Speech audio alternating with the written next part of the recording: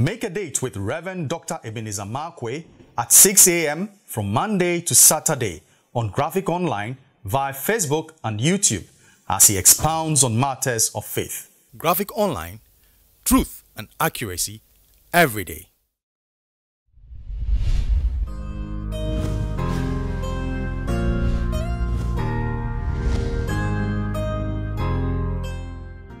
Hello, this is Reverend Dr. Ebenezer Markwei of Living Streams, bringing you matters of faith with Graphic Online.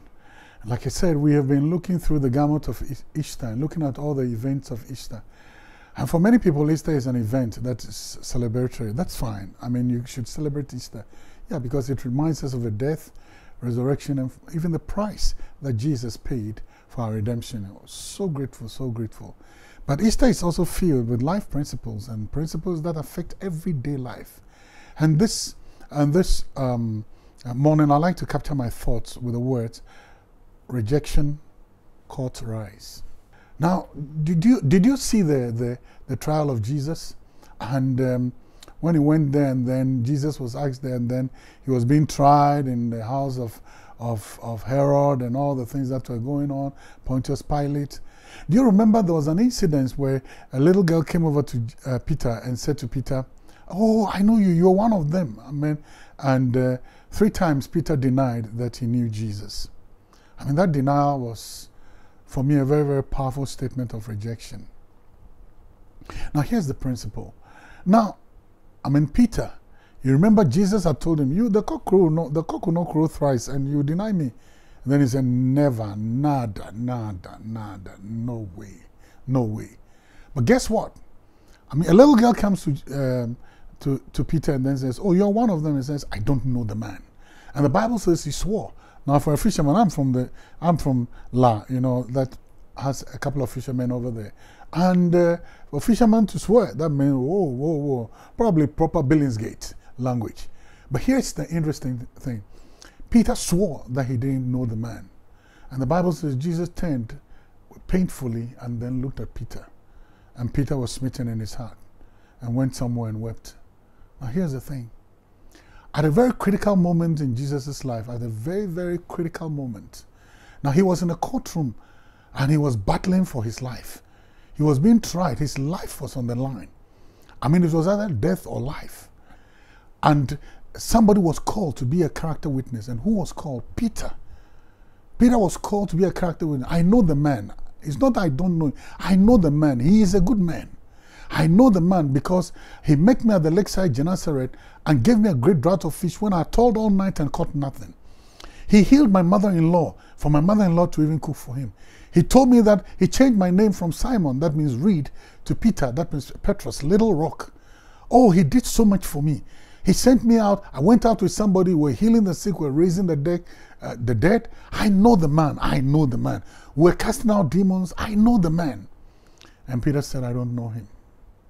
Now that, he didn't know the man who healed his mother-in-law. He didn't know the man who gave him a great draught of fish. He didn't know the man who, I mean, uh, uh, who set a table with him. He didn't know the man that had uh, commissioned him, uh, them two by two and they'd gone out healing the sick and casting out devils and all that. And the Bible says when they came back, Jesus said, I mean, I saw Satan fall like lightning. He didn't know the man. He went to the Mount of Transfiguration and said, Lord, it is good we are here let us build a tent, one for you, Elijah and Moses, uh, and let's stay here. He didn't know the man. Of course he does. But you know one thing? Peter's fear made him reject Jesus at a very, very powerful time. And here's the point sometimes in life, you'll be very surprised when you are in dire straits, when things are happening that you have no handle of. And uh, there's an accusation everywhere, things are being leveled and thrown at you everywhere. Sometimes there are people that you depend on to be a character witness for you and to tell everybody that I know who you're talking about. He's not like that. I know the man. I know him. I know his heart. I've walked with him. And you'll be very surprised. Those people will reject you at the place where we say, court rise. They won't stand up for you. And if you're not very, very careful, you'll be embittered with disappointment and you would, you, you would walk away and say, My goodness. Yes, Jesus Christ turned sadly and look at Peter. You don't know me. Today you don't know me. You know, and, and, and it's, it's, it's very sad. But that's the reality of life. Sometimes in your dark street, sometimes in a place where you are torn in between uh, Scylla and Charybdis, you go between the devil and the deep blue sea. You'll be very, very surprised that people who are supposed to stand up for you and say they know the man may fail you. Now you have a choice. Yes, be disappointed. Yes, you can be depressed. Yes, you can uh, be discouraged. Yes. But you know one thing? Jesus just turned and looked at him and then there are things that when they happen to you, you would be you, you, you would want people to stand up for you because they, they should know you better. And one way or the other, they won't do it.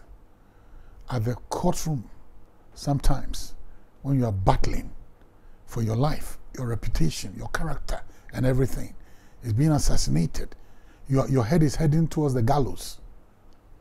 Somebody you love, somebody you've trusted, or somebody who's been with you will say, I don't know him.